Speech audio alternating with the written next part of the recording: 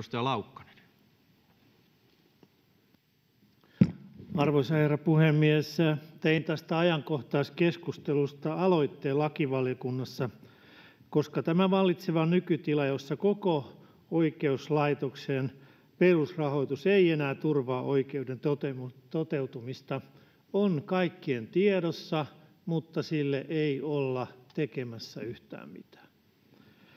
Tilanne on niin vakava, että oikeusvaltion keskeiset periaatteet eivät enää toteudu, oikeuden saanti ei toteudu ja asioiden käsittelyajat ovat niin pitkiä, että oikeutta on vaikea saada oikeassa ajassa.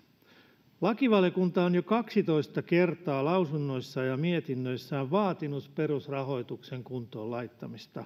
Se kaikuu kuuroille korville. Jotta oikeuslaitos voisi toimia lain ja oikeusvaltion edellyttämällä tavalla, on tämä perusrahoitus saatava kuntoon ja mahdollisimman pian.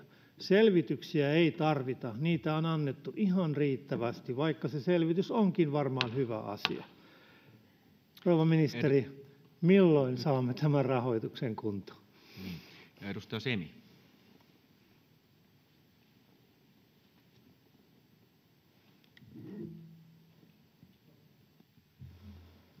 Se totteli